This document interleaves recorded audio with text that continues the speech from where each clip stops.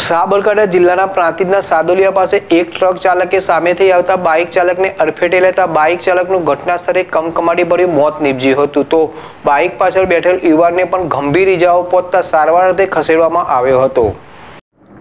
પ્રાંતિજના સાદુલિયા પાસે રેતીમાં ફરતો ટ્રક નંબર જીજે જીરો નવ ઝેડ તાણું સુડતાલીસનો ચાલક પોતાના કબજાનું ટ્રક ફૂલ ફાસ્ટ બેદરકારી રીતે લઈ આવી સામે સાઈડમાં આવતા બાઇક નંબર જીજે જીરો નવ ડીઈ સડસઠ અગ્નાએંસીને ટક્કર મારતા બાઇક ઉપર ઘરે જઈ રહેલ મહુડીના હડાદના બાઇક ચાલક ચેતનસિંહ ભવાનસિંહ રાઠોડનું અકસ્માતમાં ઘટના સ્થળે જ કમકમાટી ભર્યું મોત નીપજ્યું હતું. તો બાઇક પાછળ બેઠેલ અનોડિયાના અરવિંદસિંહ જસવંતસિંહ રાઠોડને શરીરે ગંભીર ઈજાઓ પહોંચતા તેઓને સારવાર અર્થે હિંમતનગર સિવિલ હોસ્પિટલ ખાતે ખસેડવામાં આવ્યા હતા. તો અકસ્માતને લઈને લોકોના ટોળે ટોળા ભેગા થઈ ગયા હતા. અને ટ્રાફિક જામના દ્રશ્યો સર્જાયા હતા. તો પ્રાંતિજ પોલીસને અકસ્માત અંગેની જાણ થતાં પ્રાંતિજ તાત્કાલિક ઘટના સ્થળે દોડી આવી હતી.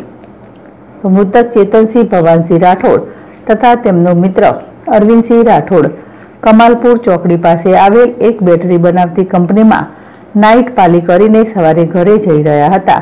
તે દરમિયાન અકસ્માતની ઘટના બની હતી. તો મૃતક ચેતનસિંહ ભવાનસિંહ રાઠોડને એક ત્રણ વર્ષનો પુત્ર છે અને હાલ તેમની પત્નીને પાંચ માસનો ગર્ભ હોવાનું જાણવા મળ્યું છે.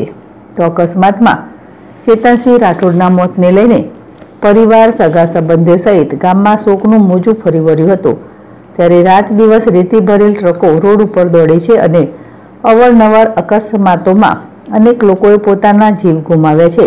ત્યારે ટ્રક ચાલકો ઓવરલોડ અને ચોરી કરીને રેતી લઈને ભાગતા હોય છે અને ડ્રાઈવરો પાસે ઘણીવાર તો લાયસન્સ પણ હોતા નથી, જેવા અનેક કિસ્સાઓ સામે આવ્યા છે. છતાંય જવાબદાર તંત્ર હાલ તો હપ્તાની લાઈનમાં આંખ આડા કાન કરી બેઠે છે, જેને લઈને અનેકવાર રેતી ભરેલ ટ્રકોને લઈને અકસ્માતો સામે આવી છે.